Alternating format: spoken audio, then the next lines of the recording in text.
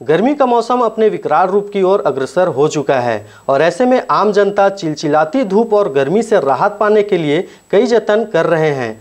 वहीं गर्मी के मद्देनजर जिला स्वास्थ्य विभाग द्वारा दिशा निर्देश दिया गया है। सबसे पहले मैं, सबसे ये अनुरोध करूँगा कि गर्मी में जो भरी गर्मी रहती है, इसमें लू लगने की बहुत ज़्यादा संभावना रहती है। तो मैं उन लोगों से यही रिक्वेस्ट करूँगा कि घर से निकलें तो सिर को ढक के निकलें।